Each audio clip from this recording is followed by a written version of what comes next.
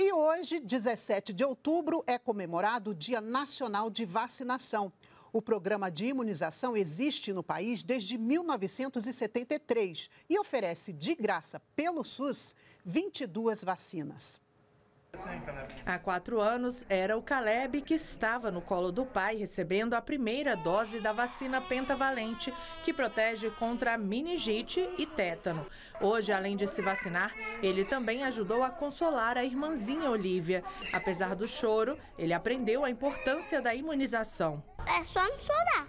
Para o pai, a vacinação é a forma mais eficaz de evitar doenças e proteger os filhos. Ele sempre tenta manter a caderneta de vacinação atualizada. A gente sempre está em dia com as vacinas, né? sempre procura ver qual é a campanha vigente, as datas, e aí a gente sempre tenta trazer. Toda a população pode se vacinar gratuitamente nas mais de 38 mil salas de imunização localizadas em unidades básicas de saúde como esta aqui. As vacinas têm importância histórica para a erradicação ou diminuição da incidência de várias doenças, como a varíola, a cachumba, a poliomielite e, mais recentemente, a Covid-19.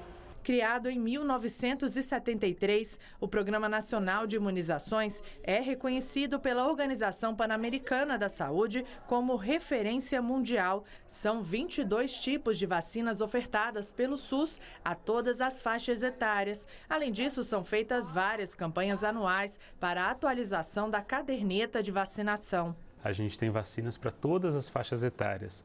É, um exemplo é a BCG, que é quando a criança nasce, até a vacina de influenza para os idosos. Segundo o Ministério da Saúde, são aplicadas uma média de 100 milhões de doses por ano. O SUS tem capacidade de vacinar mais de um milhão de pessoas por dia em todo o Brasil.